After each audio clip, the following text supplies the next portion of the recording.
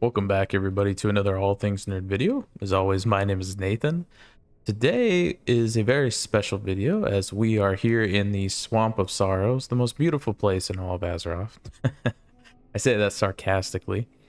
Um, so today we are at the Sunken Temple and uh, we're going to go explore and see if we can get into the original version of the Sunken Temple and see if we can get to the lower levels. Now, the Sunken Temple used to be a lot bigger back in the day. Um, it was reworked from Blizzard a few times, and it was supposed to be massive with many rooms, an upper floor, a lower floor, and just a lot of things.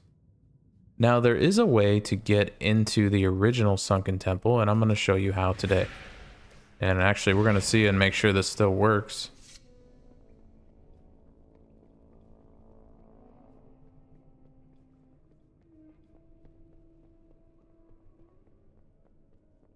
So what we're going to do is we're going to make our way to the entrance.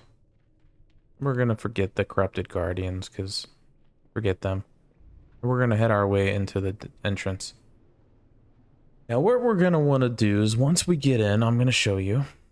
We're going to come over here.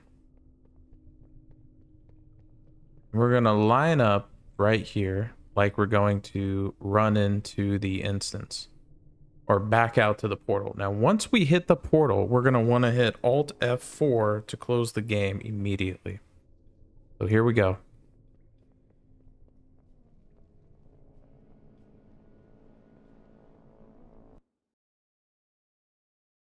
Now, if we did this correctly, it should work once we load back in.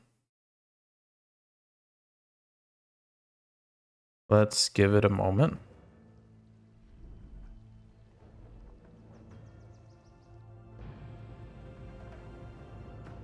Hopefully this worked.